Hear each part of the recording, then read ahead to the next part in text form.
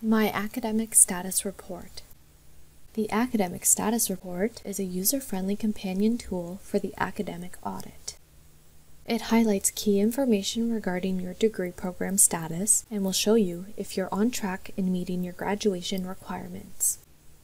You should run your academic status report along with your academic audit each semester because both provide important information about your degree requirements.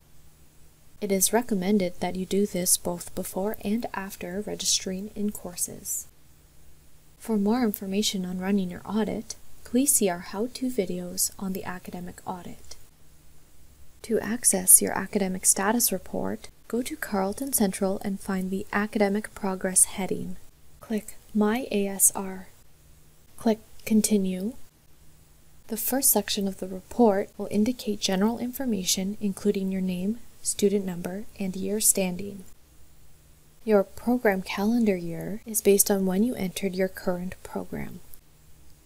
Though departments may make changes to a program, students are grandfathered into a particular calendar year, and your calendar year determines the requirements laid out on your audit.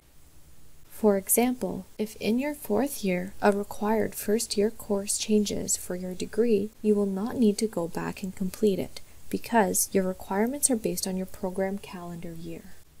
The three main sections of the Academic Status Report are Graduation CGPA Requirements, University and Faculty Graduation Requirements, and Academic Progression. Graduation CGPA Requirements This section lists the cumulative grade point averages you will need to achieve to be able to graduate in the future. Your CGPA is calculated using the letter grades you have achieved. Graduation CGPA requirements indicated will vary based on your program.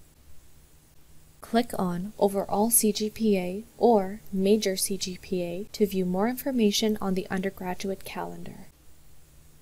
If you have a CGPA requirement for additional program elements, such as a minor or concentration, it will appear here. Next to your CGPA requirements are your current CGPAs based on the grades you have received. You will also see icons to help you interpret this information. You can hover over an icon for more information. It is important to note that the CGPA requirements that you will need to meet for good standing at the academic performance evaluation may be different than the graduation requirement for your program please contact the Academic Advising Center if any of your CGPAs are not meeting the graduation requirements.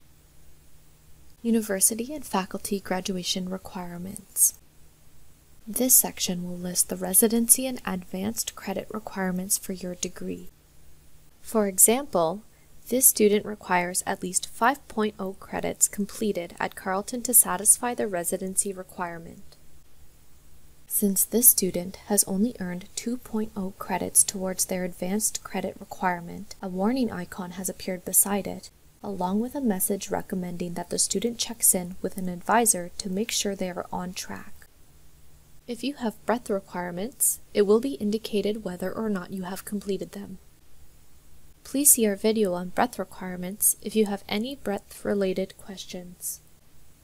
For degree students, your report will also indicate the maximum number of credits below the 2000 level that you may count towards your degree, as well as how many credits you have earned below the 2000 level. Click any of these links to learn more about these requirements. Academic Progression This section lists your academic performance evaluation decisions. The Academic Performance Evaluation is how the university checks that students are on track to graduate. Academic decisions may include good standing, academic warning, and no decision. If you hover over your most recent academic decision, you will see a brief explanation of the decision.